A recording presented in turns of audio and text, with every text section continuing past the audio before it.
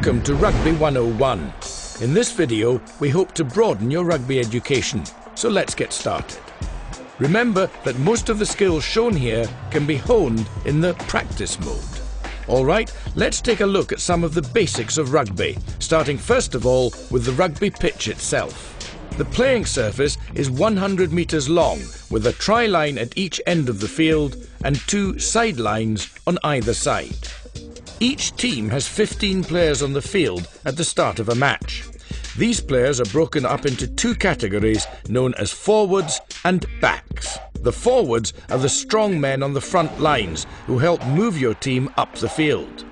They are also the players that pack into scrums and form lineouts. The backs are the sleek, faster running players who perform most of the ball handling, kicking and scoring attempts.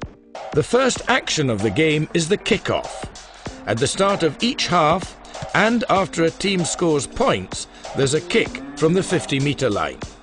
Players converge on the tackled player to either retain possession of the ball or to try and steal it away from him. This convergence of players is called a ruck. Wherever the ball is positioned on a rugby field, an offside line is created that separates the two teams. The players must remain on their team's side of the line in order to avoid conceding an offside penalty. In the sport of rugby, all passes have to be thrown backwards. Passing in a forward direction is illegal. The referee will call a stop to play and your team will instantly be stripped of possession of the ball. Running, getting tackled and recycling the ball is the most basic way to gain field advantage and get over the other team's try line. There is another way, though, to move the ball upfield. By kicking the ball, you can gain field position and help take the pressure off a team when they're deep in defence. During general play, the most common kick used is a punt to gain territory. A player would do this by punting the ball up the field and into touch to force a line-out contest. Another attacking type of kick you have at your disposal is the grubber, whereby you kick the ball past the defenders for your running players to chase onto.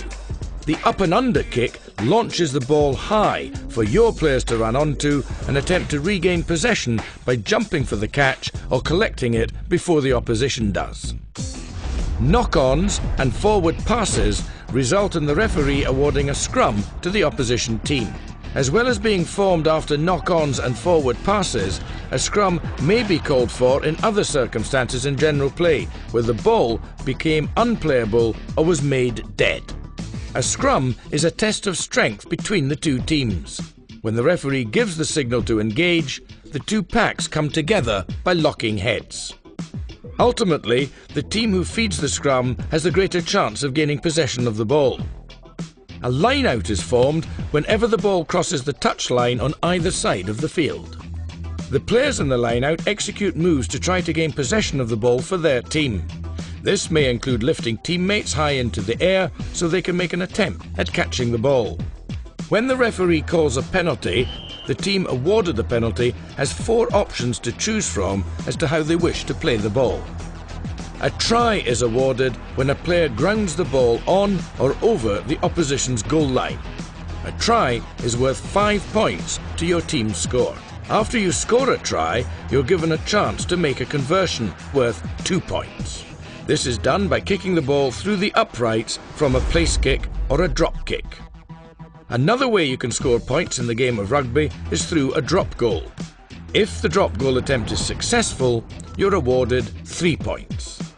If the opposition commits an infringement and you're awarded a penalty close to your opponent's try line, you may opt to take a penalty kick for goal. This kick is taken from the point where the penalty occurred. If the kick is successful, your team is awarded three points. These are the basics of rugby. While there is a lot more to learn, this brief introduction should give you the background to excel at Rugby 2005.